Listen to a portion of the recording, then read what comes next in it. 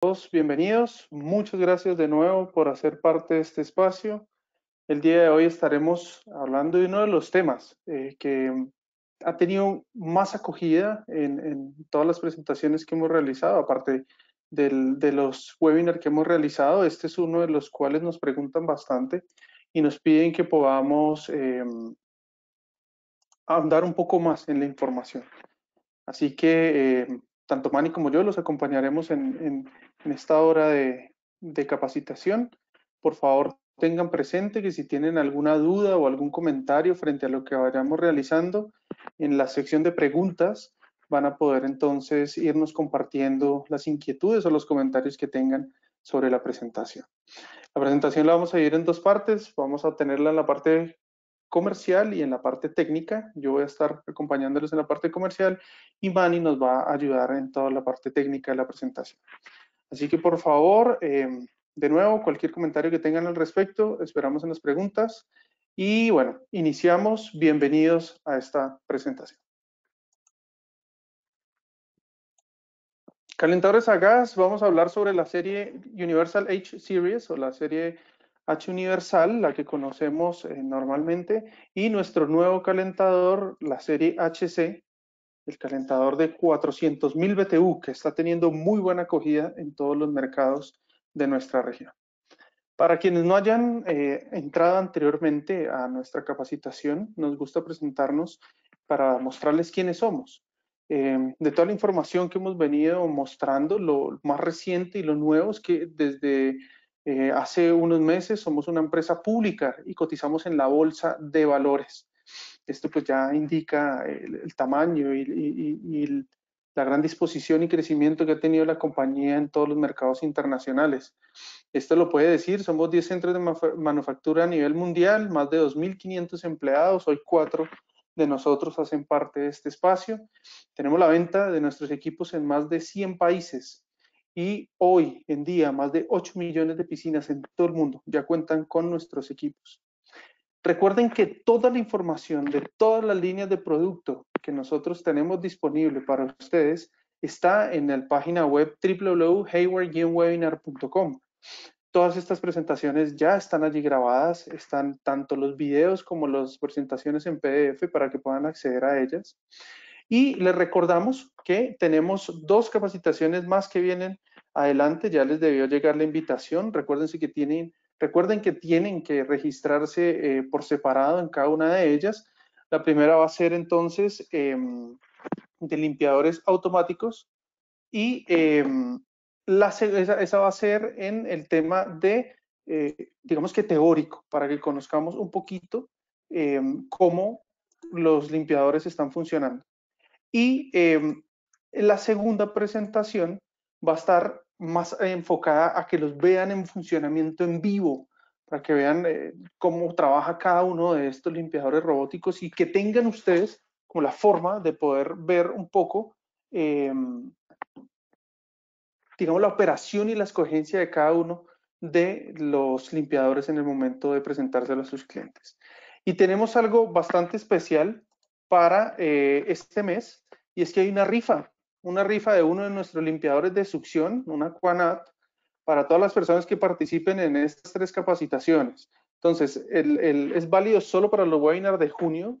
Regístrese a los webinars, sea en la mañana o en la tarde. Cada registro es una oportunidad de ganar. Y a final de mes, en nuestro grupo de, piscineros en Facebook, para quienes no hayan eh, tenido la oportunidad de entrar, los invitamos a que se registren vamos a anunciar el ganador de esta rifa.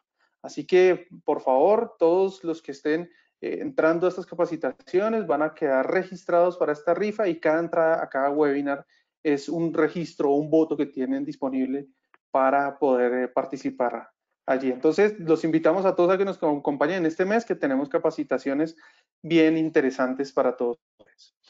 ¿Qué vamos a ver el día de hoy? Entonces vamos a ver algo sobre la introducción al calentamiento. Vamos a entrar de una vez al cálculo de los BTUs, algo que nos piden bastante de cómo escoger nuestro equipo de calefacción.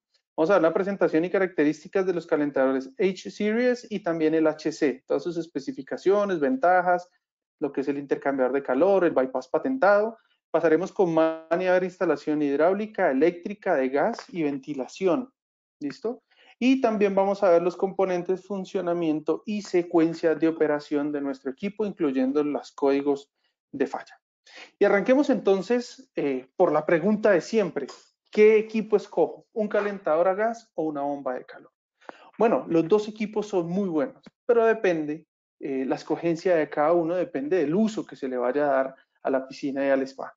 Entonces hablamos de una escogencia en calentador a gas cuando va a haber un nado intermitente.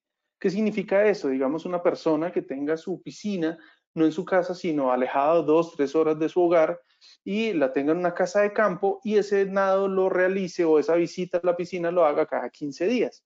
Allí es mucho más eficiente tener calentador a gas. ¿Por qué? Porque va a elevar la temperatura del agua mucho más rápida en el tiempo, porque tenemos mayor capacidad de entrega calorífica al agua. Tenemos equipos desde 135 mil BTU hasta 500 mil BTU. Somos los únicos en el mercado con este tamaño de calentador. A diferencia de una bomba de calor que tenemos 140 mil BTU disponibles como máximo temperatura a entregar y pues eh, vamos a demorar un poco más en generar la calefacción, la primera calefacción del agua em, en el tiempo. Entonces, lo importante del calentador a gas es que mantiene cualquier temperatura independiente del clima, va a ser la forma más rápida para generar la calefacción del agua y el costo operativo es menor para la calefacción intermitente, ojo, intermitente, no continua. Ahora, su costo operativo en, tema em, eh, de, de trabajo va a ser superior para mantener la temperatura de la piscina en la mayoría de las regiones. Vamos a usar eh, lo que es el, costo de el, perdón, vamos a usar lo que es el, costo del, del, gas como tal, ¿sí? que va a ser mucho más alto que el costo de la energía eléctrica en el caso de la bomba de calor en varias de nuestras regiones. A diferencia de la bomba de calor, es un equipo diseñado para un nado diario, su costo operativo es menor para mantener la temperatura de la piscina a diario, dado que la energía que utiliza es la de la temperatura del ambiente y la humedad relativa del ambiente como combustible para transferir calor al agua y el consumo eléctrico es bastante bajo. Es la única opción que hay para quitarle calor al agua o enfriar la piscina o el spa.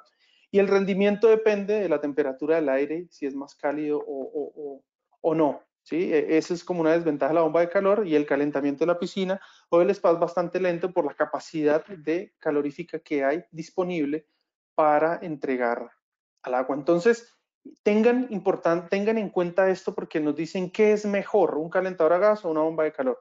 Y pues yo que les digo, lo, mejor es encontrar cuál es el espacio adecuado para cada uno de estos equipos en, em, en, en la casa o en el lugar de campo del cliente. Y, hay algo bien importante que tengamos presente, que es un BTU.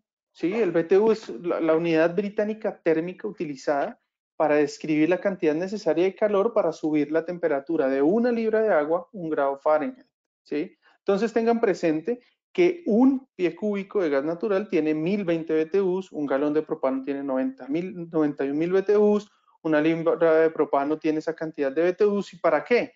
Para que ustedes tengan presente, en el caso del propano, cuánto, gas o cuántas pipetas necesitan o cuántos eh, galones necesitan de, este gas para, para utilizar en los calentadores. Y, a Mani le gusta hacer mucha comparación de, de que es un BTU, eh, que es un fósforo, siendo muy honestos, y, y cuántos BTU tiene el Sol que es 1.2 trillones de BTUs por segundo, ¿sí? Y queremos, ¿por qué se hace esta comparación? Porque es que el, el calentador a gas no es un barbecue, no es un equipo que ustedes conectan el gas y ya están generando eh, una flama que va a, calentar de alguna u otra manera lo que esté allí, sino que el calentador se parece mucho más al sol.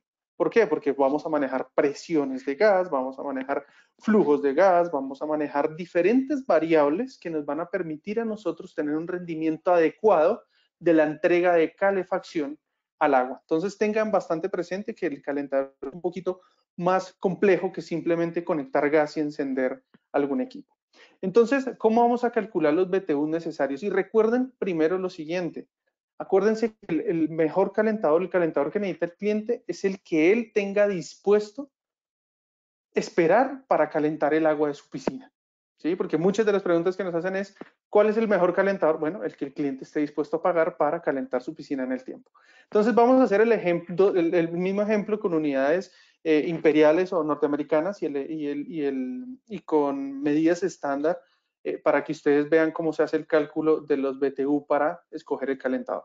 Entonces es importante que sepamos que un BTU se toma un BTU para elevar la temperatura un grado Fahrenheit en una libra de agua y que un galón pesa 8.3 libras. Esos son constantes que vamos a tener siempre en el ambiente en el momento de hacer la escogencia del equipo a calcular. Ahora, la piscina eh, objetivo a calentar es una de 15.000 galones y vamos a subir de 75 a 90 grados Fahrenheit. Vamos a tener un, cambio de 15 grados Fahrenheit. Entonces, lo primero que tenemos que hacer es calcular los BTU necesarios para elevar un grado Fahrenheit el volumen de agua. Entonces, lo primero que hacemos es tomamos Em, el volumen de la piscina, que son los 15.000 galones, por los 8, por 8.3, que es lo que pesa un galón, Y así encontramos el valor de 124.500, ¿sí? BTUs necesarios, eh, perdón, 124.500, em, que va a ser el valor, el valor que vamos a utilizar para eh, subir la temperatura,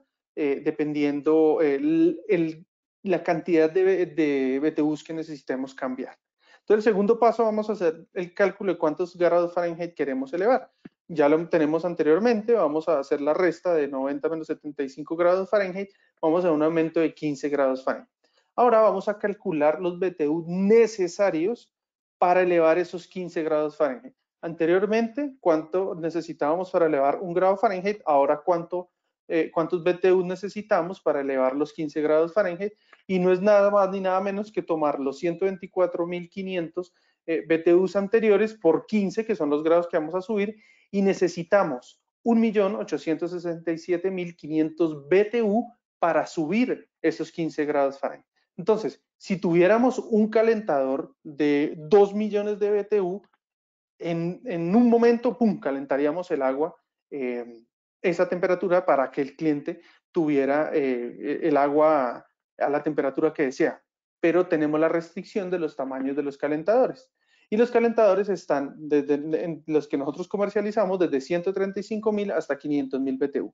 Pero ojo con el tema de los calentadores. Que tengamos 135 mil BTU no significa que sean los BTU disponibles para poder calentar la piscina. Los equipos tienen unos porcentajes de eficiencia. Entonces, eh, más o menos rondan en el 84%, que es el porcentaje de eficiencia que está actualmente en el mercado. Así que si sacamos ese valor de eficiencia de los BTU disponibles de cada calentador, vamos a encontrar los BTU reales que vamos a poder aplicar para calentar el agua en la piscina. Entonces van a poder ustedes ver en la cuarta columna de la tabla que está abajo a la izquierda los BTUs que realmente vamos a poder entregar al agua. El resto en qué se va? En combustión, en, disipación de calor, en todo lo que necesita el calentador para poder generar el trabajo que hace. Así que para este volumen de agua, si un cliente está dispuesto a esperar 17 horas para calentar todo el volumen de agua de su piscina, bueno, perfecto, entonces em, en 17 horas un calentador de 135 mil horas de trabajo. Pero si quiere que el calentamiento inicial sea más corto, bueno, pues entonces va a pedir el calentador de 500 mil BTU que va a demorar de cuatro horas, más o menos cuatro horas y media en hacer este trabajo. Entonces, como, como lo hicimos en el ejemplo anterior con unidades eh, imperiales, ahorita en unidades métricas hacemos lo mismo. Tomamos 3, toma 3.98 BTU, elevar un kilogramo de agua un grado Celsius. ¿sí? Entonces, un litro de agua pesa un kilogramo. ¿Dale? Eso es el valor que nosotros debemos tener presente para, el dato constante. De nuevo, tenemos una piscina de 50 mil litros, vamos a subir 10 grados de temperatura. Primer paso, tomamos 3.98 que es nuestra constante por los 50 mil litros y encontramos que para subir un grado Celsius en esa piscina necesitamos 199 mil BTU.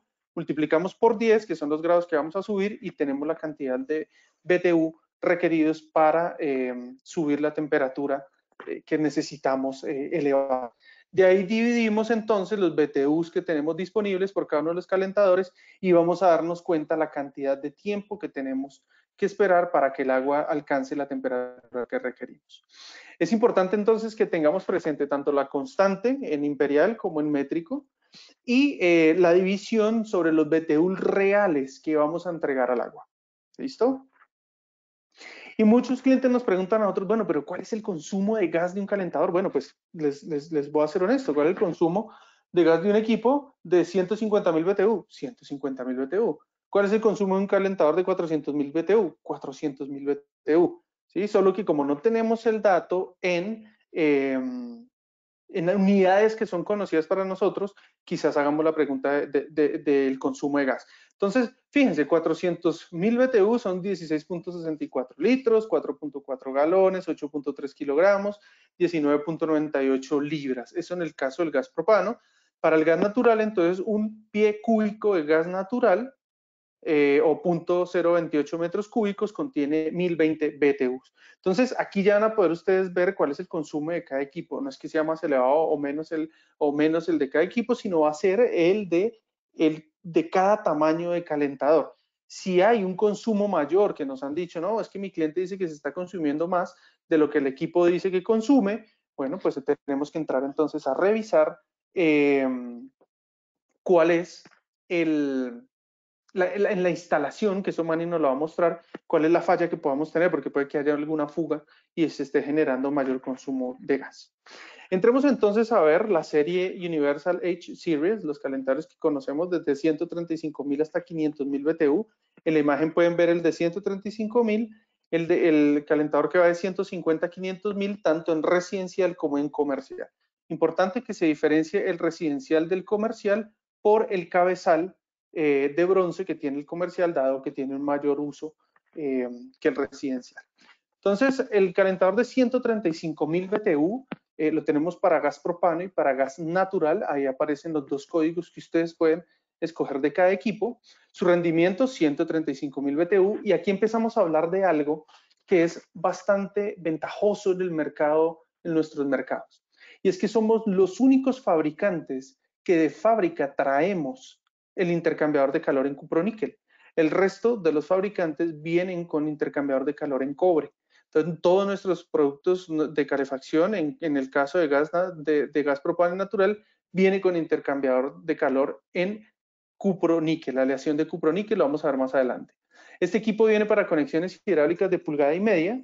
La pantalla es digital y electrónica, no tiene ninguna perilla como en otras marcas y es perfecto para spas y piscinas pequeñas trabaja única y exclusivamente a 115 voltios, 60 Hz y su, instalación, su altura máxima de instalación es a 2000 pies sobre el nivel del mar.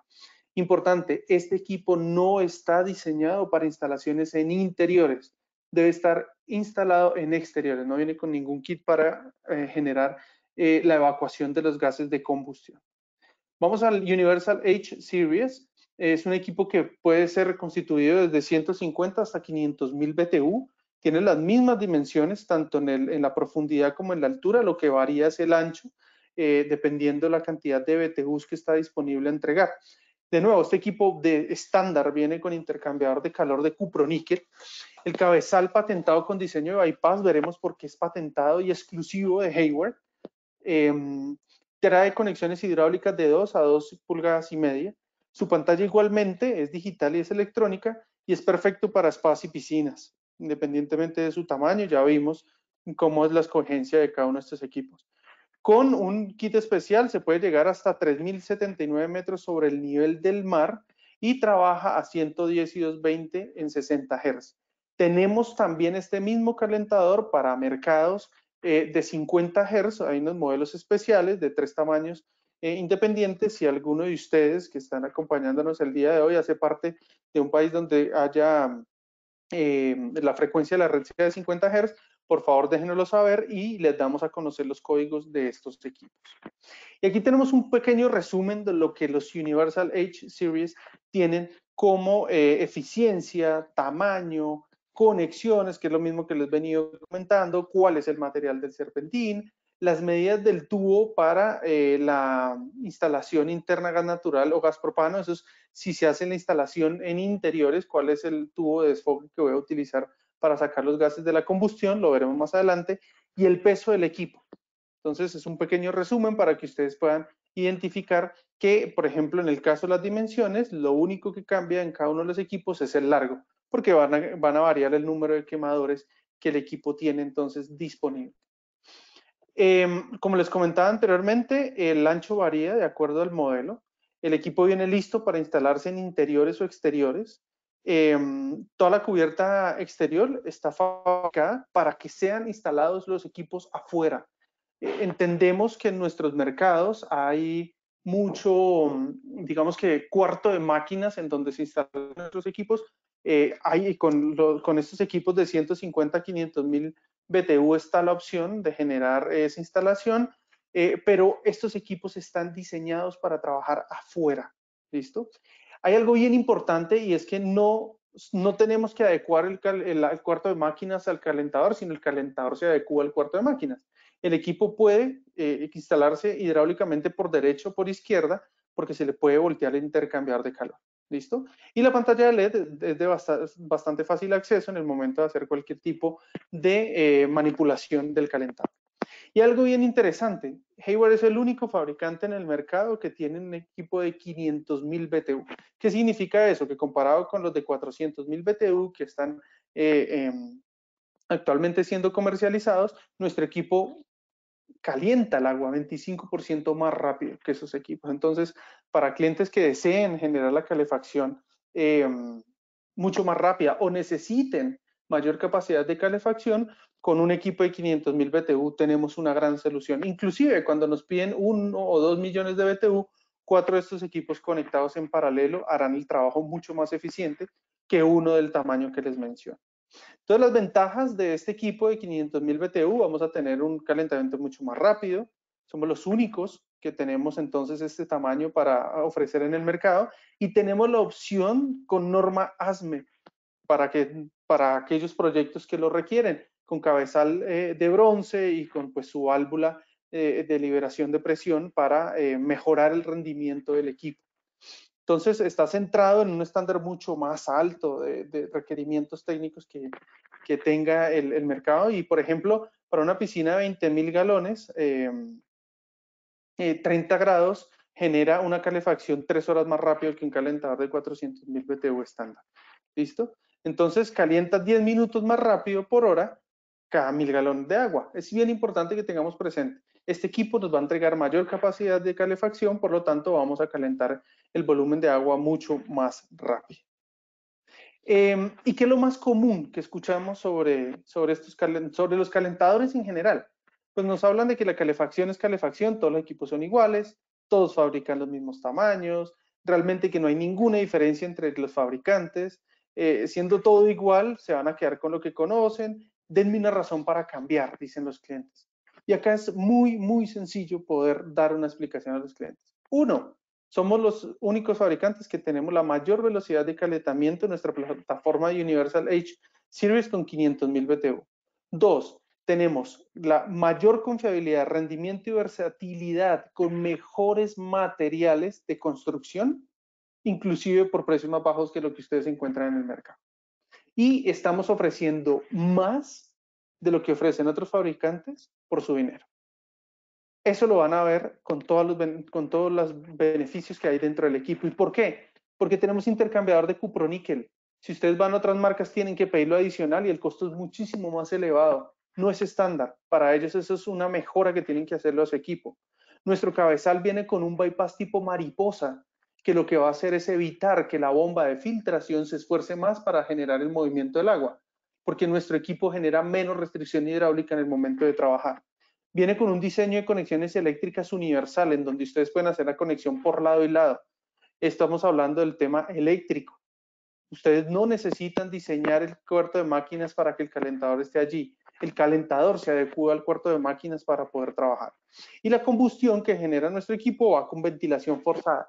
Ya no más esos equipos de ventilación natural donde tienen que ponerlo para que el aire que esté en el ambiente sea el que apoye el funcionamiento del equipo, sino que tenemos nuestro ventilador que entrega la cantidad de aire necesario para que la combustión se genere de la mejor manera.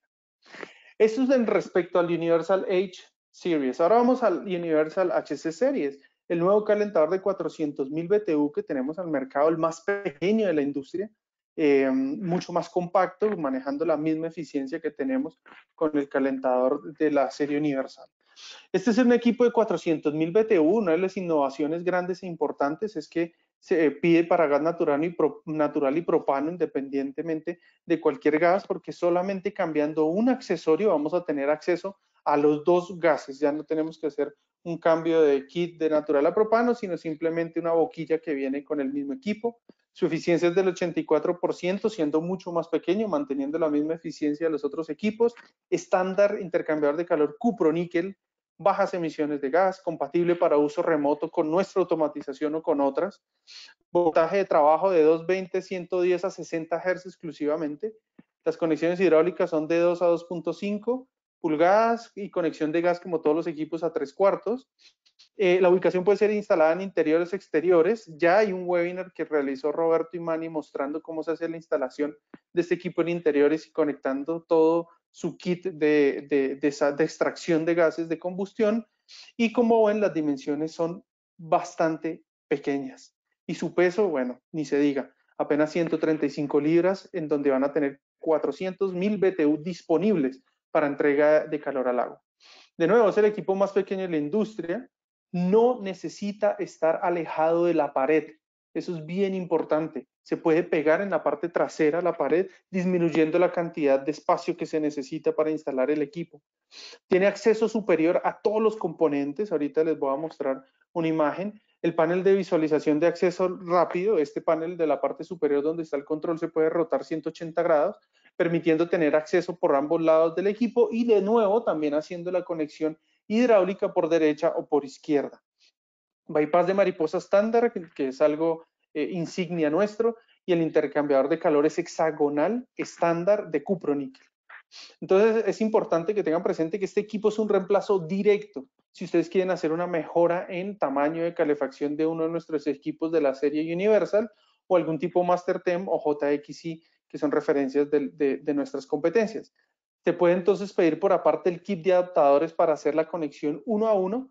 El equipo viene de nuevo, eficiencia bastante alta, 84% y de muy bajas emisiones. Entonces, fíjense, comparado con los calentadores que hay en el mercado, por qué este equipo mejora su funcionamiento. Entonces, imagínense la línea del lote en donde está, es el único calentador en el mercado que se puede pegar a la pared. Y miren todo lo que ustedes se ahorran de acera, de andeno, de banqueta o de espacio disponible para hacer eh, la instalación del calentador en el momento de conectar este equipo. O sea, si ustedes lo comparan frente al Master Temp de Penter, se están ahorrando el 37% de área en metros cuadrados em, para hacer la instalación del equipo. Si vamos al Yandy, un 40%, con uno de nuestros Universal Series 55% y con el RIPAC digital, no con la otra referencia, un 48%. Entonces están teniendo un espacio, un ahorro de espacio importante y más pensando también en que los cuartos de máquina hoy son todavía mucho más pequeños. Este es el calentador ideal para esos espacios en donde em, las otras marcas pues tienen eh, problemas de instalación. Y acá donde les decía que es un equipo de fácil mantenimiento con entrada superior, facilita la, no separación de la pared, la parte superior se quita con cuatro tornillos como lo indica la imagen Em, estos tornillos lo que hacen es permitir entrar directamente a todo el equipo y tener acceso a todas las partes del calentador. Así que desde arriba ya van a poder hacer todos los mantenimientos que, o, limpiezas que necesiten, ya no más estarse agachando como sucede con los otros equipos. Y lo, que les comentaba, el panel es totalmente reversible, generando que el equipo sea conectado por derecha o por izquierda en su conexión hidráulica. También entonces en el momento de hacer el levantamiento de la tapa superior van a poder tener acceso a la válvula de gas, conexiones eléctricas y el selector de voltaje de la válvula de gas de manera mucho más fácil y rápida, solamente quitando un tornillo. Y lo que les comentaba anteriormente, esta es una, una tecnología de doble combustible, ya no más cambio de kit, ya no más nada de eso que aparece en todo el mercado, sino que nosotros enviamos el calentador listo para trabajar a gas natural. Viene con el mezclador de propano incluido. El mezclador es esta tapita azul que ustedes ven aquí en la imagen en la parte derecha, el cual si ustedes quieren cambiarlo de natural a propano, lo que tienen que hacer es girar un cuarto en, sentido de las manecillas de reloj, eh, Este mezclador lo giran a la derecha un cuarto, sacan el mezclador, ponen el de propano, giran de nuevo un cuarto de vuelta a la izquierda y ya el calentador está listo para trabajar en cualquiera de los dos gases. Entonces, eso es una ventaja bien importante porque pues pedimos un solo código para dos tipos de gas. Y esto, aunque no lo crean, es algo bien importante y es la gestión de condensados. Cuando un equipo llega a su máximo valor porcentual de eficiencia, empieza a generar algo de combustión.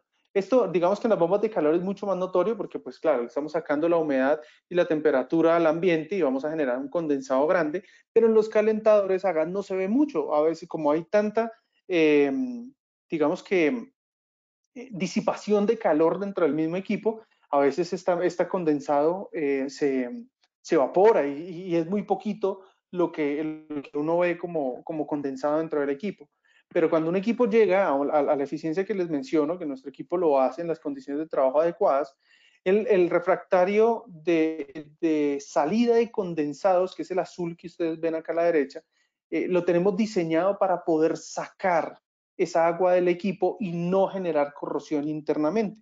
Entonces, abajo a la izquierda del equipo va a haber una lengüeta que va a permitir conectar un, tubito por donde va a salir toda el agua eh, de, del condensado. Es igual o muy parecido a los, equipos de aire acondicionado y esto lo que nos va a permitir es que se va a extender la vida útil del calentador, mejorando la confiabilidad del equipo. Nosotros incluimos en, en la caja cuando vendemos el equipo una tubería flexible de casi dos metros para poder manejar el condensado de la mejor manera. Entonces tengan presente eso eh, para, para cuando vayan a instalar el equipo. Todos nuestros equipos, señores, todos salen de fábrica probados. Ningún equipo sale sin probar. Esto lo que asegura es que lo que ustedes compran es un equipo que va a trabajar adecuadamente. Si se instala de la mejor manera, el equipo va a trabajar porque ya sale de fábrica probado. Y les hablaba del intercambiador de calor de cuproníquel. Bueno, es importante que sepamos qué es el cuproníquel y eso es lo que vamos a ver más adelante. Pero con esta imagen lo que queremos mostrarles es que para, con la serie em, Universal, ustedes van a poder quitar la tapa superior del calentador, girar todo el intercambiador de calor para poder tener conexiones hidráulicas por derecha o por izquierda. ¿Y qué es el cuproníquel? El cuproníquel es una aleación de cobre y de níquel. Normalmente, el cobre es un muy buen material para generar la transferencia de calor. ¿sí? Así, por eso es que la mayoría, o por no decir todos los fabricantes, tienen el cobre como el material que utilizan para el intercambiador de calor. Pero ustedes saben que el mundo está cambiando, el mundo de las piscinas está cambiando en su desinfección y estamos usando más piscinas con sal. Entonces el cuproníquel es un material que trabaja con mayor eficiencia con agua salada. Su uso es totalmente marítimo y es lo mejor que hay hoy en intercambiadores de calor en la industria. Es por eso que los otros fabricantes lo ponen como una opción, pero no estándar como nosotros lo hacemos. Así que en el momento de poner intercambiador de calor de cuproníquel, lo que estamos asegurando es que la vida útil de este equipo va a estar asegurada, inclusive trabajando con sistemas de cloración salina. Si se pone el cobre a compararse versus el cuproníquel en el momento de trabajar con sal, vamos a ver que el cobre va a tener un desgaste muchísimo mayor. Pero ojo, este es el tema del intercambiador de calor. ¿sí? Debe estar em, bastante bien ligado al buen manejo de la química del agua. Entonces vamos para allá, pero antes de eso quiero que vean que nosotros en la serie Universal tenemos doble cama de intercambiador de canal con cuproníquel en todos los modelos.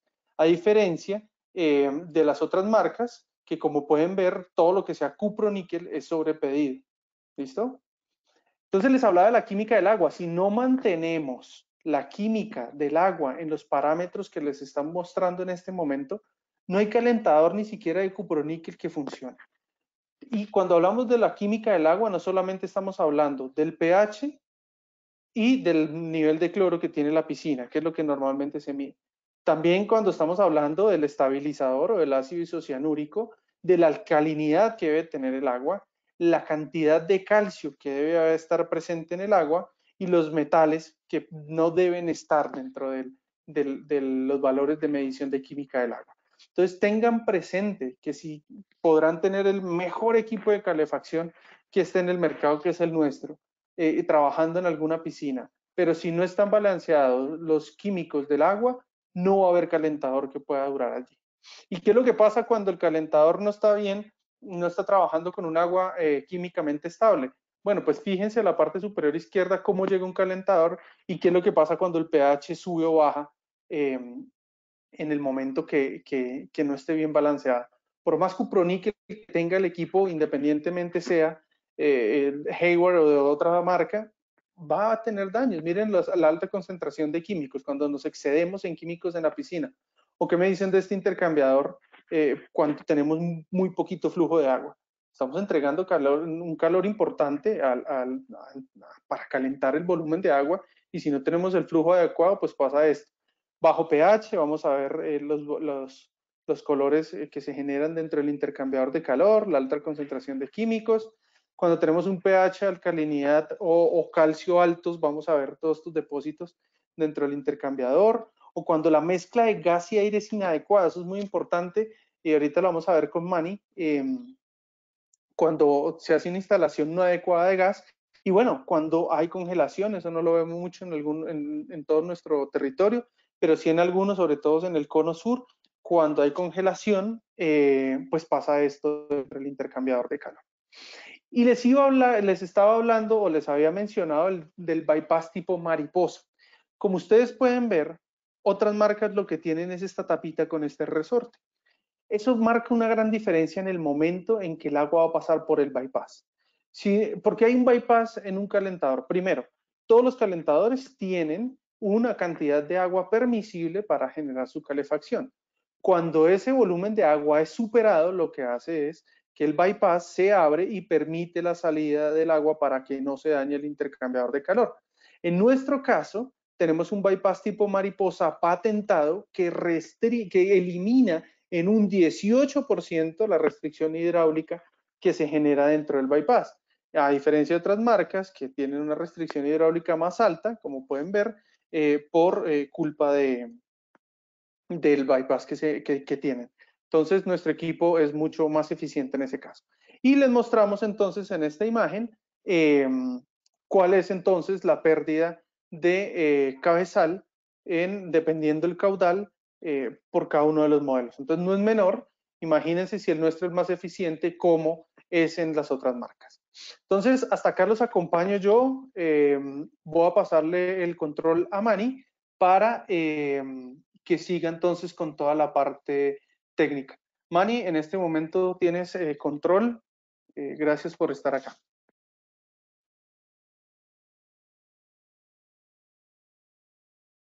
Muy buenos días a todos. Mi nombre es Manny Exlawak. Muchas gracias por estar con nosotros. Primero que nada, así que bienvenidos. Vamos a continuar ahora con la instalación hidráulica. Eh, como pueden ver aquí en esta foto, pueden ver que tenemos una recensión, una hidráulica muy eficiente, ya que este tipo de curvas que tenemos disponibles también eh, las podemos utilizar para evitar usar los codos eh, tradicionales que tenemos esto causa menos restricción y lo bueno de causar menos restricción, como lo ha comentado Rafael en todo el proceso, es que la bomba se esfuerza menos en empujar el agua, lo cual también hace que gaste menos energía. Entonces ahí es donde viene la eficiencia hidráulica al hacer todos esos cambios. Muy importante, cosas que quiero mencionar aquí, como sabrán, toda piscina tiene una bomba y un filtro. Si agregamos un calentador, claro, queremos ponerlo siempre después del filtro pero una cosa muy importante que quiero mostrarles aquí es que si vamos a poner un clorador salino o un clorador de tabletas, siempre tiene que ser lo último en la línea, ya que queremos que el cloro que se produce vaya directamente a la piscina y que no pase por los equipos cuando se está produciendo, que es mucho más fuerte. Ya en la piscina se mezcla, cuando regresa ya la cantidad es mucho menos. Otra cosa muy importante, poner una válvula check para impedir que cuando la bomba se apague, el cloro que quedó dentro de la celda o de un clorador de tabletas vaya a retroceder lentamente y se acumule dentro del calentador y empiece a comerse el material. Recuerden que una mala química se va a comer el material que sea y eso lo podemos ver por todos lados, inclusive hasta con acero inoxidable, que también se oxida. Si hacemos una instalación de varios calentadores, aquí podemos ver una buena opción para una piscina grande, en este caso es como una semiolímpica o olímpica. Podemos ver que tenemos varios calentadores. ¿Qué ventaja tenemos al poner varios calentadores en vez de uno mucho más grande ya comercial? Bueno, tenemos varias ventajas. Una es que, por ejemplo, si uno se descompone, tenemos todavía en este caso cinco funcionando, así que no tenemos que cerrar la calefacción de la piscina. Y otra cosa muy importante, siempre poner un flujómetro para asegurarnos que tengamos el flujo adecuado entrando al calentador y así podemos regular válvulas para asegurarnos que no estemos metiéndole demasiada agua o muy poquita agua. Una cosa más que les comento aquí es que cuando hagamos una instalación de varios eh, calentadores, inclusive filtros o, o cloradores salinos, siempre ponerlos en paralelo, nunca los pongan en serie, siempre en paralelo, si no vamos a tener lecturas inadecuada de temperatura de un calentador a otro y también cambios de temperatura dentro de un calentador va a afectar al que sigue y así continuamente. Entonces siempre en paralelo, por favor. Flujo máximo, flujo mínimo lo pueden encontrar en el manual de instalación. Cada calentador aquí lo pueden ver para los universales. Tiene un mínimo en el caso del de 500.000 BTUs, que nos hemos enfocado mucho en ese pueden ver que el flujo mínimo es de 40 galones por minuto o 151 litros por minuto. Y también tenemos un máximo, 125 galones máximo o 476 litros máximo. Siempre recomiendo que si vamos a poner una bomba de, por ejemplo, en el caso del calentador de 500 mil BTUs, si va a ser una bomba de dos caballos o más grande, pongan un bypass y pongan este flujómetro para poder regular la cantidad de agua que le entra al calentador. Poca agua lo puede afectar, mucha agua también lo va a afectar, entonces hay que estar dentro del rango. También tenemos disponible, como pueden ver, todo calentador viene con un sensor de flujo, el cual es ajustable de 1 a 10 PSI. Eso es muy importante para cuando tenemos calentadores por debajo del nivel del agua para asegurarnos que no vaya a querer prender debido al peso del agua de la piscina pero en el caso de que tengamos uno donde por más que regulemos no podamos eh, hacer que funcione bien, podemos poner uno externo. Este externo es un sensor de flujo que solamente va a cerrar cuando el agua está en movimiento, pero no exactamente con el peso. Entonces tenemos eso disponible y también lo pueden conseguir localmente. Solamente es cosa de conectarlo a la línea de los de la de los de bajo voltaje donde están los seguros como lo es el sensor de flujo y los sensores de temperatura. En el caso de que instalemos un calentador sobre el nivel del agua, muy importante, yo lo que primero que, lo primero que recomiendo es poner un flujómetro para asegurarnos que el agua sí suba con la presión suficiente al calentador para que pueda cerrar el sensor de flujo y encienda nuestro calentador. En el caso de velocidad variable, si no tenemos el flujo adecuado, tendríamos que subir la velocidad. En el caso de una bomba de una velocidad que no llegue a darnos la cantidad de agua, tendríamos que cambiar la bomba para una bomba más grande. Vamos a requerir ese flujo para poder eh, hacer que el calentador encienda. Rafael les comentó sobre estos adaptadores. Recuerden que solamente son adaptadores que se pueden utilizar para poder alinearlo con calentadores de la competencia, Jandy JXI o el Penter Master Temp. Así que no tenemos que hacer mucha tubería, no tendríamos que hacer nada de tubería si tuviéramos esos adaptadores porque se alinean perfectamente. En el caso de que reemplacemos este calentador o reemplazamos más bien un universal con este calentador, entonces eh, con el nuevo que tenemos, perdón, esos se alinean perfectamente, así que no hay necesidad de, de comprar esas, estas esos adaptadores. Instalación eléctrica. En el calentador universal tenemos del lado derecho y del lado izquierdo conexión eléctrica para 120 o 240 voltios para calentadores de, 50, 60 Hz. Perdón. En el caso de 50 Hz, acuérdense que son números de partes especiales. Ah, hablen con nuestros compañeros en ventas si es que lo ocupan en sus mercados. Pero la conexión eléctrica de nuevo para 120 o 240 la pueden hacer por el lado derecho o por el lado izquierdo. Igual también la conexión para automatización que vamos a ver, que podemos ver aquí abajo. Eso lo podemos encontrar del lado derecho o del lado izquierdo. Y algo muy importante que siempre les, les comento, recuerden que también que hay que poner tierra, pero también bonding o polo a tierra o tierra de aterrizaje. Muy importante poner esta línea de cobre, conectarla para que así el calentador tenga menos problemas en caso de algún pico de electricidad. Aquí podemos ver cómo es la instalación para nuestro calentador nuevo también. Es prácticamente lo mismo, conexión abajo para bajo voltaje, arriba conexión alto voltaje, 120, 240 voltios. En la instalación eléctrica vamos a mencionarles que si queremos conectar este calentador o el nuevo que tenemos a 120, ya que de fábrica viene listo para 240, solamente es cosa de desconectar esta clavija que la van a ver en la tarjeta de fusibles y conectar el lado contrario que en este caso no se ve, pero por la parte de atrás va a tener una etiqueta que dice 120 voltios. Solamente lo quitamos, la volteamos y la conectamos a 120. De, nuevo, todo calentador viene listo para 240 voltios. ¿Por qué? Porque si le conectamos 120 voltios al calentador, no va a pasar nada, solamente que el calentador no va a funcionar. Pero si, haríamos, si hiciéramos lo contrario, que estuviera la, la clavija conectada a 120 y le metemos 240, vamos a tener una buena explosión dentro del calentador, causando daños eléctricos prácticamente a todos los componentes. Por eso es de que lo hacemos a 240. Hablemos sobre la instalación de gas, muy importante. Eh, la mayoría de los problemas que yo he visto ha sido por una mala instalación de gas. Aquí vemos lo que recomendamos en lo que es una instalación de gas propano con dos reguladores, uno de alta y uno de baja. Recuerden que el de alta tiene que estar en un tanque lo suficientemente grande para podernos dar la cantidad de propano y de presión necesaria para el calentador y que nos dure, porque si ponemos tanques muy chicos, pronto se empiezan a vaciar, causando que el calentador deje de funcionar por insuficiencia de gas. Entonces, regulador primario y luego tenemos acá el secundario.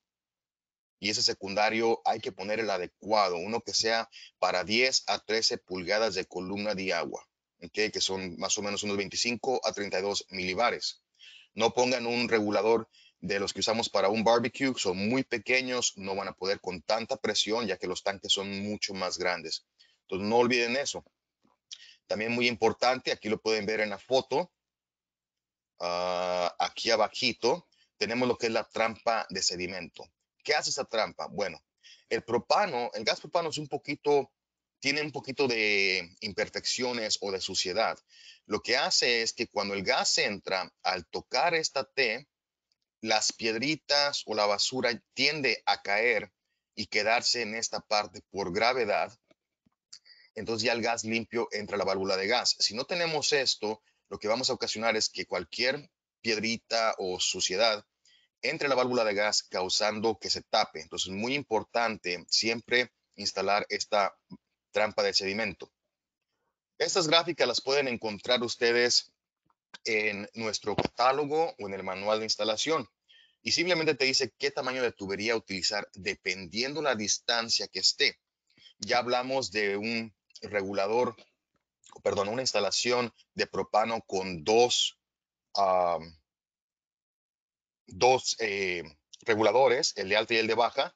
Solamente que recuerden que después del de baja, la conexión tiene que ser de tres cuartos de pulgada hasta la válvula de gas, a una distancia de no más de dos metros o unos seis pies.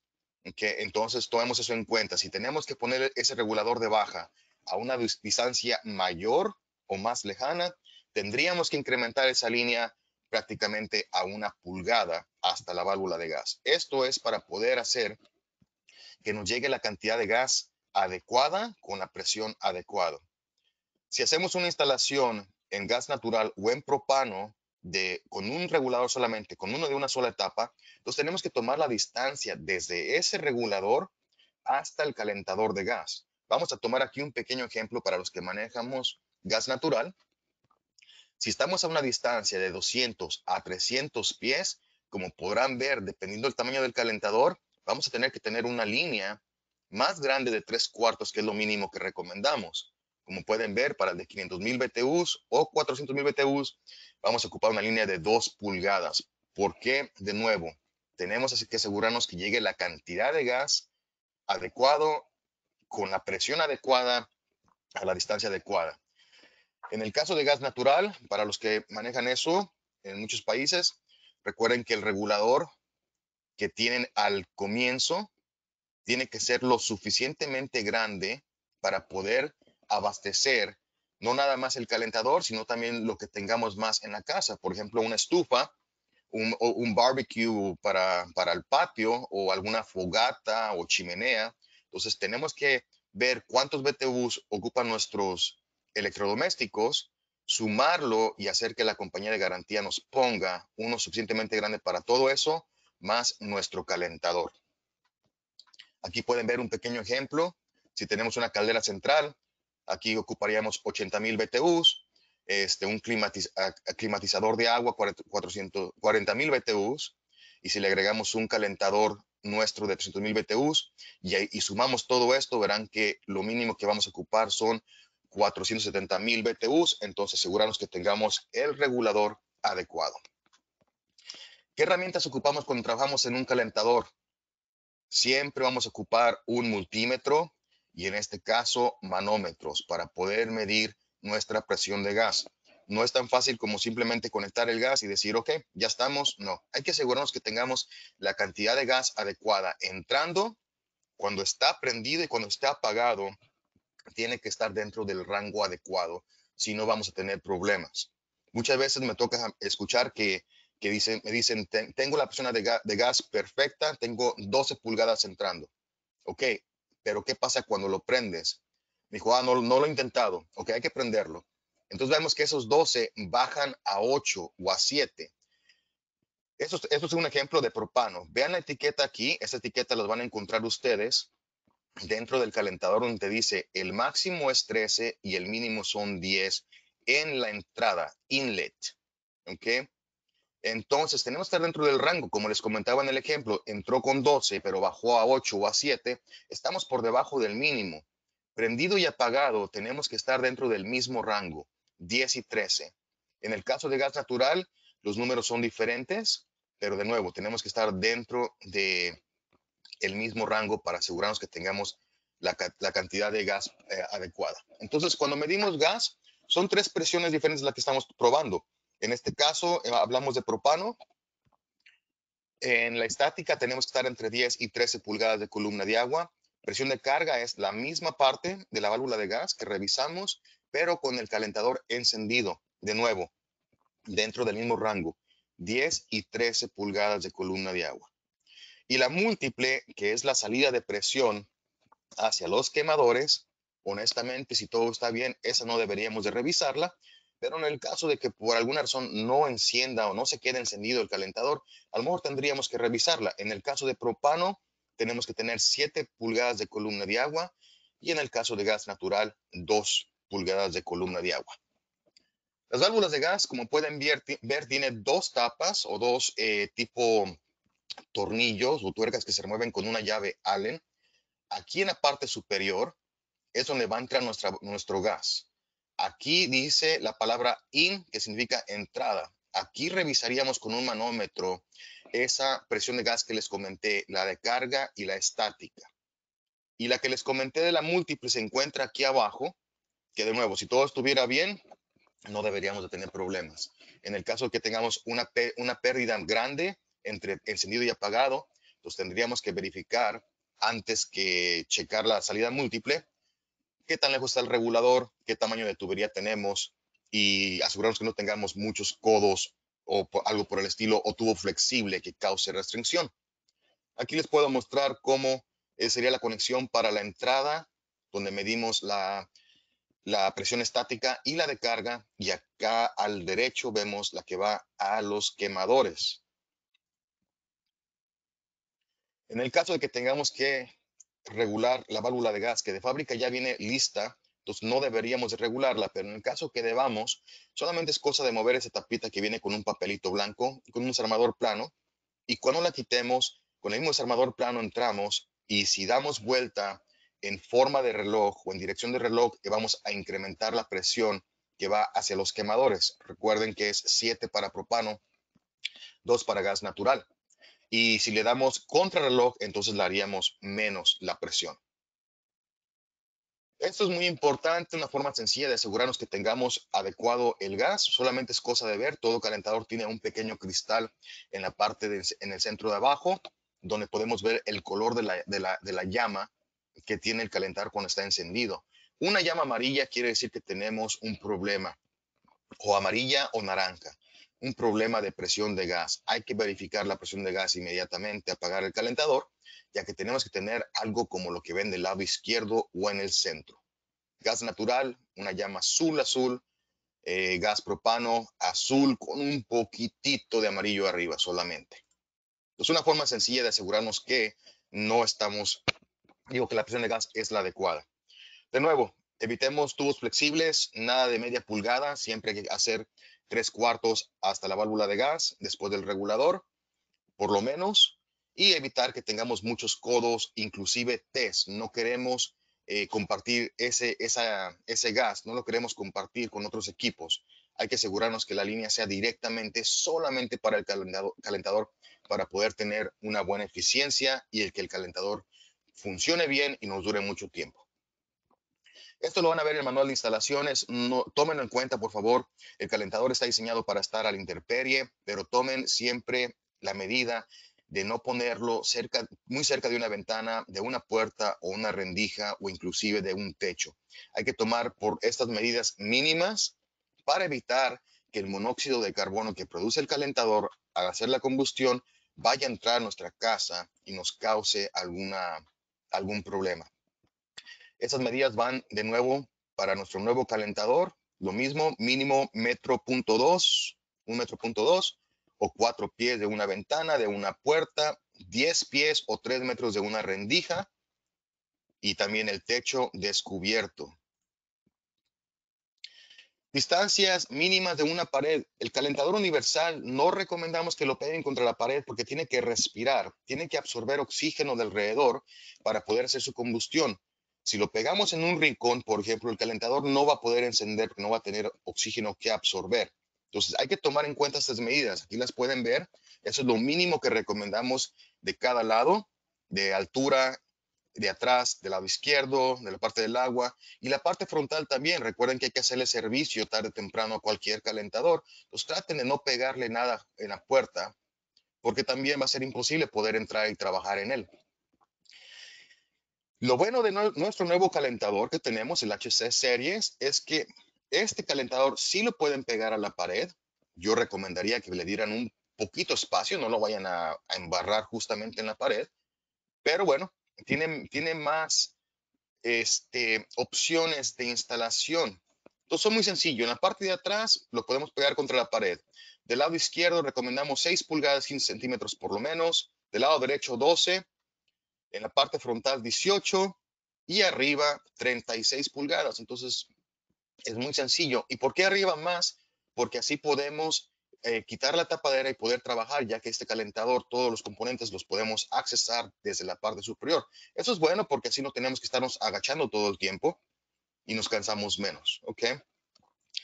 Si vamos a instalar un calentador dentro de un cuarto de máquina, muy importante ponerle una chimenea. Tenemos que sacar ese monóxido de carbono del cuarto de máquina, si no vamos a tener problemas. También, no nada más es parte de la chimenea, sino que también tenemos que tener lugares por donde pueda entrar la ventilación, porque recuerden que esos calentadores tienen que respirar, tienen que succionar oxígeno para poder hacer su combustión. Si vamos a colocar una tubería para poder salir sobre el techo, muy importante poner esto, una trampa de goteo.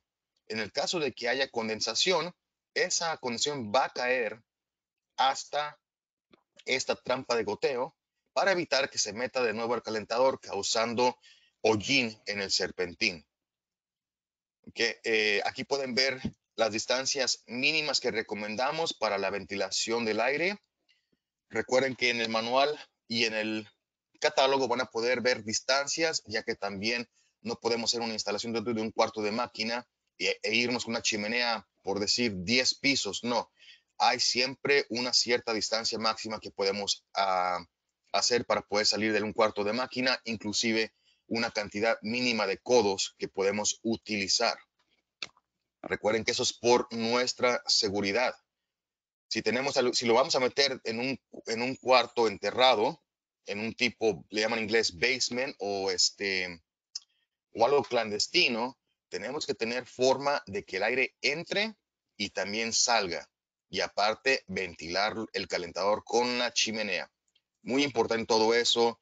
Cualquier duda que tengan nos pueden dejar saber. Pero nuevo, no nada más pongan una pequeña rendija, no. Cada calentador, dependiendo de el tamaño de BTUs, va a necesitar cierta cantidad de, de pulgadas cuadradas de tamaño para poder ventilar adecuadamente. Recuerden que todo esto lo van a poder tener acceso entonces les comentaba de la pequeña rendija, no es recomendado. En esta parte, en esta puerta, no va a entrar el aire suficiente para un calentador para su buen funcionamiento.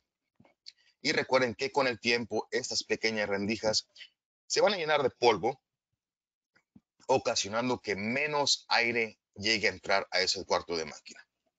Ahora, hablemos sobre la instalación en el caso de chimeneas, en el caso de que queramos poner el calentador dentro de un cuarto de máquina, hay dos formas de, hacer una ventilación. Positivo, que es salir por una pared, directamente por una pared, o negativo, que es salir hacia arriba. Nosotros vendemos los kits para este tipo de ventilado. En el caso de positivo, como pueden ver aquí, esta silicona roja, ya que vamos a salir por la pared y vamos a ocupar un tipo de silicón contra altas temperaturas para evitar que donde haya cualquier tipo de, de entre un tubo y otro, el monóxido de carbono no vaya a querer salirse hacia arriba por esa unión. Este tipo de silicón nos va a hacer que selle perfectamente. Esto va a estar en el catálogo. De nuevo, aquí les decimos cuál es el máximo con un codo que tenemos de limitación en el caso de una ventilación horizontal hacia una pared. Si usamos dos codos, qué tipo de, material usar. Eh, vamos a utilizar un tubo de una sola pared en el caso de que el cuarto sea ventilado adecuadamente y no se, no se sobrecaliente. En cuartos donde está muy caliente y la humedad es muy grande, vamos a ocupar tubos de dos eh, paredes, galvanizado. Y aquí pueden ver los números de parte para los kits positivos, los que salen por la pared. En el caso de negativo, aquí pueden ver es cómo es diferente, ya no tenemos la silicona roja. ¿Por qué? Porque en este caso vamos a salir directamente hacia arriba y como el gas tiende a subir, entonces no va a querer salirse hacia los lados, va hacia arriba. Solamente usamos un tipo de, cinta metálica contra altas temperaturas en cualquier unión y así este, evitamos cualquier pequeña fuga. Aquí pueden ver los kits. Recuerden, una instalación negativa es hacia arriba, hacia el techo, la salida. Y de nuevo, viene también con sus limitaciones. 15 metros máximo o, 50 pies es lo máximo que podemos hacer. No podemos atravesar 10 pisos de nuevo, como les dije. ¿Por qué no? Porque si hacemos eso, entonces el aire antes de salir se va a enfriar, ocasionando condensación. Entonces, aquí estas medidas son lo suficientemente eh, precisas para asegurarnos que ese calor llegue a salir, ese, monóxido de carbono llegue a salir del cuarto de máquina antes de, que condense. En el caso de un calentador universal es muy sencillo, solamente es cosa de remover la tapa superior y luego lo que le llamamos el rain guard, que es como una cubierta que cuando llueve evita que el agua le caiga al serpentín. Se remueve esa rain guard o cubierta contra la lluvia y se instala el kit de nosotros. La parte del tubo, su nueva cubierta de abajo con su tapadera y de ahí conseguimos el tubo de conexión localmente. Vean el manual, por favor, o el catálogo, ya que dependiendo del tamaño del calentador va a depender del diámetro del tubo que vamos a ocupar para este tipo de instalaciones. En el caso del calentador universal, les, recuerdo que tenemos un kit bien incluido en el calentador, esta esta parrillita que dependiendo de la altura de la que el calentador se instale sobre el nivel del mar, va a depender si la vamos a tener que cambiar o no. La que viene de fábrica viene para una altura máxima sobre el nivel del mar de 2.000 pies. Entonces, si queremos, si, estamos en un lugar donde estamos a 4.000, cambiemos esa rejilla, viene con el calentador. Si estamos en un lugar donde estamos como a 9.000 pies o 10.000 pies, vamos a tener que obtener una rejilla por separado, ya que eso no lo vemos muy común. Pero de nuevo, es porque a mayor altura la combustión va a ser diferente ya que el oxígeno es más denso. Entonces, esto hace que el ventilador funcione perfectamente bien y nos cause la combustión adecuada. Todos los controles de nuestros calentadores eh, de gas son prácticamente como el que están viendo aquí, muy sencillos, pantalla que nos muestra la temperatura y si presionamos el signo de más o el de menos, vamos a ver en la pantalla una temperatura parpadeando y la temperatura deseada. Así que cuando subimos va a empezar a mostrarte para qué temperatura queremos que el calentador caliente el agua o hasta qué temperatura. Cuando llegue la temperatura se va a apagar. ¿okay? Del lado izquierdo dos luces LED, una que nos muestra cuando tengamos algún pequeño problema o un problema y luego una con una forma de llama que nos muestra cuando el calentador está encendido calentando nuestra piscina. Del lado derecho tres LEDs que van a cambiar presionando este botón como de apagado. La primera quiere decir que está apagado si lo presionamos el botón. El de acá que ven a la derecha, el, de modo o, menú. Entonces, esta, esta icono con esta luz va a cambiar a esta figura con dos personajes. Esto quiere decir que estamos en modo spa. Y si lo presionamos una vez más, vamos a bajar a esto con las escaleras, que quiere decir que estamos en modo de piscina.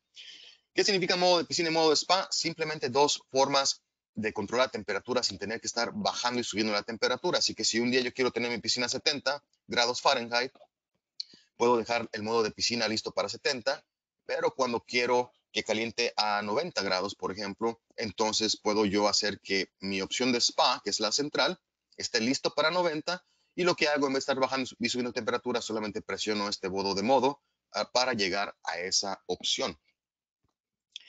En el caso de que tengamos este, la opción de ponerlo o conectarlo a un modo de automatización, hay que hacer el cableado de dos cables en el caso de, un sistema de automatización, de Hayward, pero hay que poner el control, el calentador en modo de BO, que significa que va a ser controlado por automatización.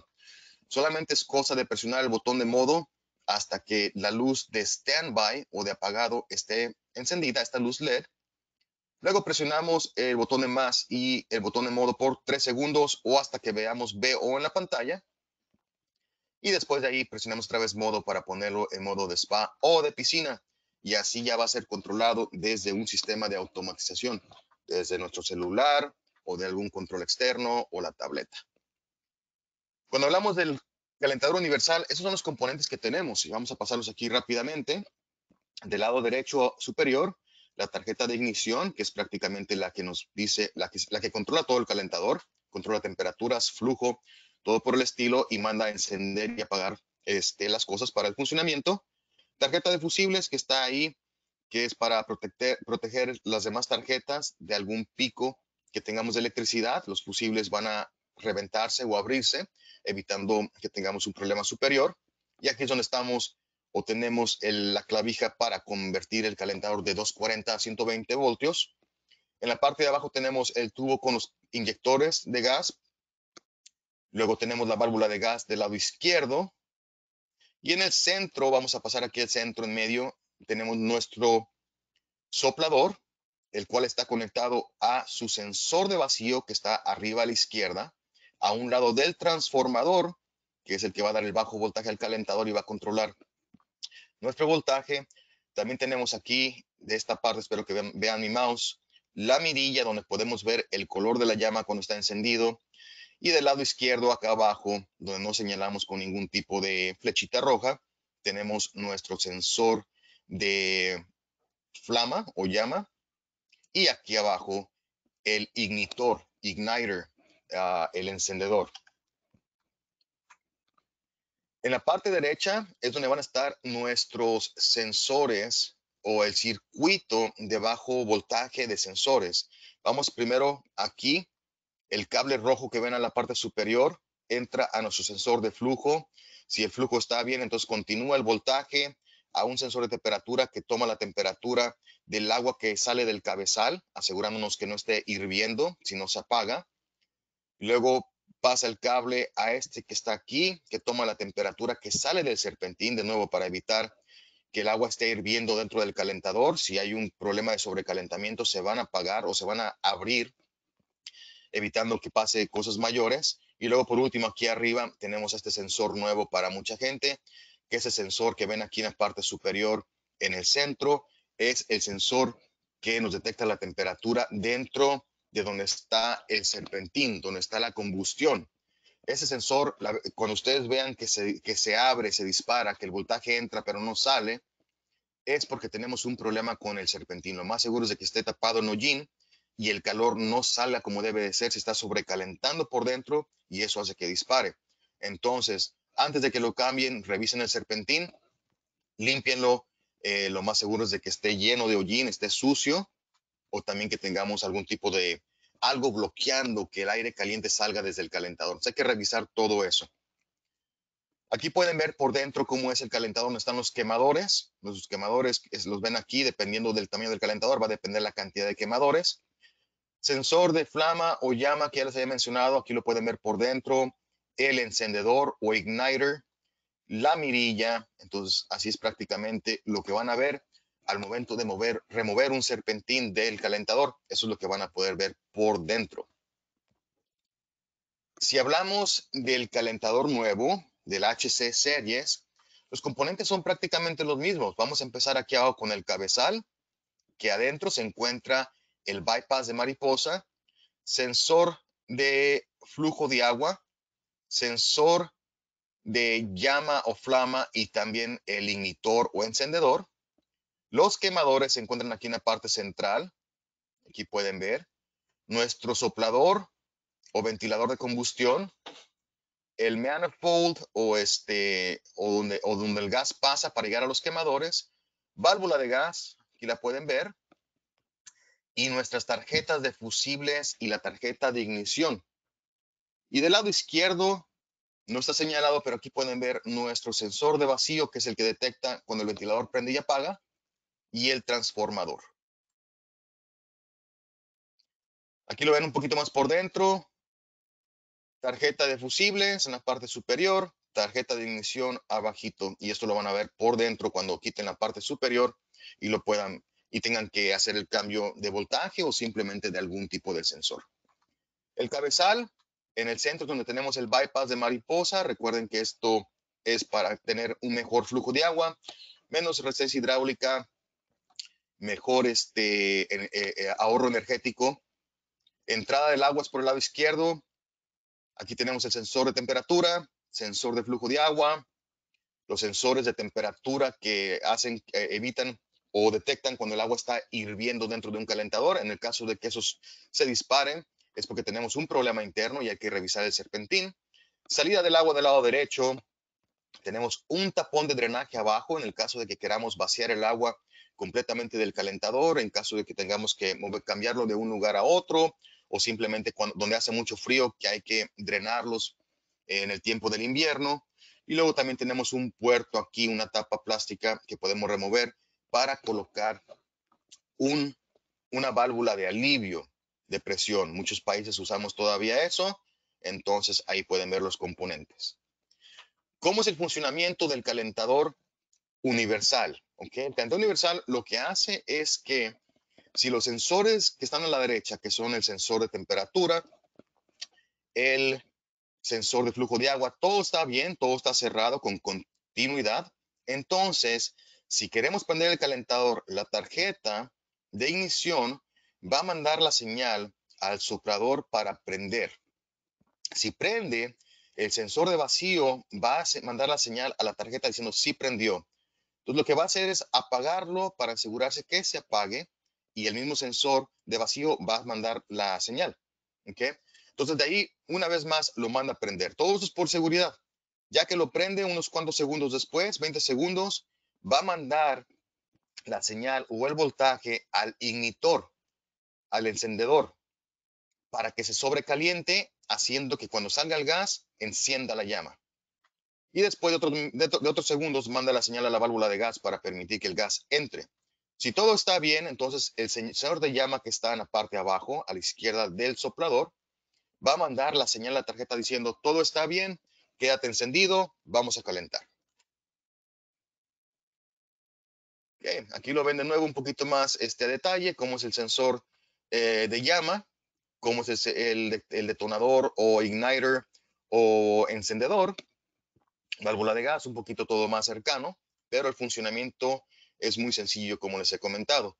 Y del lado derecho es donde tenemos los sensores Por ejemplo, del lado izquierdo, abajo donde ven mi, cursor, tenemos el sensor de temperatura, sensor de flujo de agua, sensores que, de temperatura que detectan el agua que está dentro del cabezal y dentro del serpentín. Entonces, todo esto de nuevo son simplemente seguros o por seguridad. Una vez más, así es como luce. Muy sencillo. Pocos componentes. Y nuestro calentador del HC Series prácticamente tiene, la, mejor, la misma función. Funciona prácticamente igual que como les acabo de decir, pero lo bueno de que este calentador nos muestra en la pantalla por medio de rayitas la secuencia. Dos rayitas quiere decir que está llamando por calefacción. Y luego tenemos aquí ya avanzamos dos rayitas más que está eh, haciendo el inicio de prepurga. Y luego sigue avanzando, que es cuando empieza a calentar el ignitor o el detonador o encendedor. Y luego ya cuando cierra todo esto, quiere decir que ya abrió la válvula de gas. Si todo está perfectamente bien y ya quedó encendido, pues vamos a ver que prende esta luz LED del lado izquierdo diciéndonos, estamos calentando, vamos a calentar hasta que tengamos, hasta que lleguemos a la temperatura deseada. Códigos de falla. Tenemos un manual de diagnósticos que les podemos llegar, cualquiera que lo quiera o lo ocupe o lo vamos a mandar, no estoy muy seguro. Para eso está mi compañero Roberto Sablón, que es el que se encarga de todo esto, de estar mandándoles la información. Eh, van a poder ver todo esto rápidamente. Yo sé que nos hemos tardado un poco, no voy a entrar a detalle, pero cada código tiene algo que ver. Por ejemplo, BD es un tablero de ignición malo. EE, tablero de ignición, este, eh, tablero de ignición malo definitivamente. Acá puede ser un problema en el primero, perdón, de voltaje o de algún fusible. Pero cada código tiene su referencia, así evitamos tener que estar revisando el calentador 100%. Por ejemplo, el código LO es un código que nos dice que tenemos un problema de flujo de agua. Entonces, de nuevo, BD, aquí pueden ver con qué está relacionado.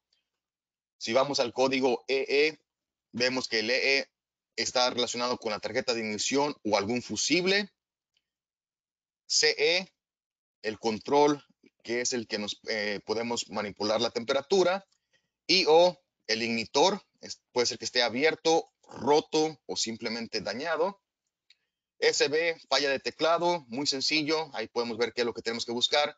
SF, el agua está sobrecalentando, sensor de temperatura de agua, igual el HS. ¿Ok?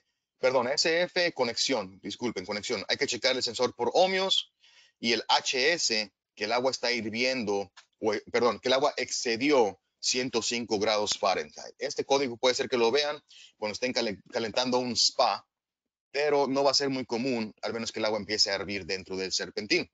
HF, válvula de gas. BO no es código malo, quiere decir que estamos conectados a automatización. Automatización. LO, baja presión de agua o no flujo. Esto, este código lo van a ver muy seguido si es que la bomba de filtración está apagada y no hay flujo pasando por ahí. HC, sensor de aire cerrado, está relacionado con la tarjeta o con el sensor de vacío. Y AO quiere decir que el aire o la succión del aire está abierta. Lo más común es que esta manguerita tenga, esté rota y haga que el aire se esté escapando. Pero también puede estar relacionado con el ventilador que no prende definitivamente, el sensor de vacío o inclusive con la tarjeta de ignición. Código PF lo van a ver cada vez se conecten este calentador a 120 voltios y el neutral y la, y la línea de alto voltaje estén invertidas. asegurémonos que si tenemos este código, estemos haciendo una conexión correcta. Si no, hay que invertir los cables. Recuerden que sí es muy importante poner tierra y polo a tierra también para evitar este código. Y por último, código IF. El código IF va a ser el más común en problemas y tiene que ver el 90% de las situaciones con una mala instalación de gas. Recuerden, esos tanques son para barbecues, no para un calentador a gas. Recomendamos un mínimo de 250 libras de tamaño de tanque, porque no nada más es cosa de presión o de flujo, tenemos que tener volumen. Y aquí es como lo queremos mostrar en esta fotografía o esta imagen, que pueden ver que tenemos presión, volumen, y eso va a ser muy importante en nuestros calentadores. De mi parte, yo he terminado. Vamos a contestar preguntas. Cualquier pregunta, por favor, escríbanla. Y aquí les voy a comunicar a mi compañero Rafael que va a terminar con esta presentación. Adelante, Rafa. Gracias, Manny. Muchísimas gracias por, por tu apoyo en la presentación. Entonces, eh, antes de pasar a las, a las preguntas, les quiero recomendar eh, todas las presentaciones y, y, y, los webinars que hemos realizado están grabados en hayward y en webinar.com. De allí pueden descargar toda la información técnica, inclusive el manual de diagnósticos que mencionaba Manny anteriormente, lo van a poder em, descargar sobre la capacitación de calefacción que tenemos allí grabada. Recuerden también las dos presentaciones que vienen adelante, la del jueves 24 de junio de eh, la parte teórica de limpiadores automáticos y la del 8 de julio, eh, la presentación que tenemos en vivo de los limpiadores. Recuerden también la rifa que tenemos abierta para todos ustedes por acompañarnos en estos espacios para las capacitaciones de junio. Entren las capacitaciones en la mañana y en la tarde y a final de mes estaremos anunciando el ganador de este limpiador de succión. Entonces vamos a la parte de las preguntas. Veo que mis compañeros han venido em, contestando bastantes las que han venido realizando. Así que, bueno, iniciemos con esta primera. Em, los valores que se mencionan de consumo en propano es por hora. Manny, ¿me puedes ayudar, por favor, con la respuesta a esta pregunta? El consumo de gas de los equipos. Sí, el consumo es por hora. Entonces, Ah, de nuevo, si, tenemos un calentador de 400 mil BTUs, te va a consumir 400 mil BTUs por hora. Me gusta, me gusta este tipo de preguntas porque les quiero decir una cosa. Muchas veces me preguntan, o, me, o más me dicen, me aclaran, es que un calentador pequeño gasta menos gas que uno grande. No es cierto. Te va a consumir la misma cantidad de BTUs que requerimos para calentar la piscina. Si vamos a requerir 400 mil BTUs para calentar ciertos grados, es un ejemplo, un calentador de 400.000 BTUs te va a gastar 400.000 BTUs en una hora para podértelo calentar. Y si ponemos uno de 100.000 BTUs, va a durar cuatro horas para poderte calentar. Pero de nuevo, si lo multiplicas por cuatro, van a ser 400.000 BTUs. Entonces, yo nomás les digo que cuando hablamos de calefacción, entre más grande, mejor, siempre y cuando el cliente pueda. El consumo es lo mismo dependiendo de la temperatura que queremos llegar. Adelante, Rafa. Gracias, Manny. La siguiente pregunta nos dicen, de nuestra experiencia como fabricantes, ¿cuál es la falla que se presenta con mayor frecuencia? Justamente la última que comenté, código IF, y tiene mucho que ver con la instalación de gas. Recuerden que el tamaño de tubería es importante, el tamaño de gas es importante, el regulador adecuado es importante, y también dos cosas más que me ha tocado ver que les comento una ya les comenté que ah, muchas veces se olvidan de cambiar el convertidor de voltaje, lo conectan a 120 y no lo cambian. Esa es una. Y la otra es que la válvula de gas viene siempre cerrada, tiene una, un tipo de manija o un switch. Recuerden que hay que abrirlo para que esa válvula de gas quede abierta. Sabes, Manny, yo le sumo también cuando hacen una conexión a 110 voltios, que recuerden hacer el cambio de la clavija. Eh, normalmente, o los equipos vienen a 220 voltios y ese cambio la clavija no se hace y, preguntan bastante por, por ese cambio. Sí, correcto. Siempre tomen en cuenta el voltaje y asegúrense que esté convertido o conectado para el voltaje, voltaje adecuado. Perfecto. Bueno, Manny, no tenemos más preguntas. Eh, ya todas las otras han venido dando respuesta internamente. Agradecemos mucho a todos por su compañía por estar presentes y acompañarnos en este espacio.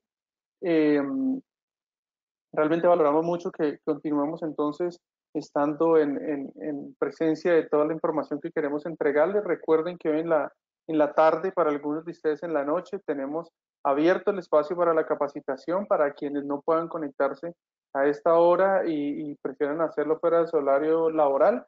Estamos, estaremos repitiendo la presentación que estamos Em, haciendo. Entonces, eh, de mi parte, les agradezco mucho su espacio. Mi nombre es Rafael Acosta, soy el gerente de ventas para Sudamérica, Mani. Mani Exlawak, gerente técnico para América Latina y el Caribe. Muchas gracias de mi parte. Encuentren bien. Perdón, Rafa. Este, saludos con nosotros. Adelante, Rafa, todo tuyo. Dale, contamos también con Roberto Sablón, nuestro gerente de exportación para América Latina y con Israel, Sante, eh, Israel Sánchez, el gerente de ventas y técnico eh, para México en todo su territorio. Recuerden que si tienen em, alguna duda o alguna consulta, eh, no, no, no, no, duden en, en, escribirnos. Alguien nos pregunta que cuándo es la próxima capacitación. Jueves 24 de junio y jueves 8 de julio. De nuevo, gracias. Que tengan un muy feliz día. Esperamos que estén muy bien todos sanos, salvos desde sus lugares de trabajo o en su hogar. Y los esperamos a quienes nos quieran acompañar en la tarde del día. Un abrazo grande y que tengan un feliz día.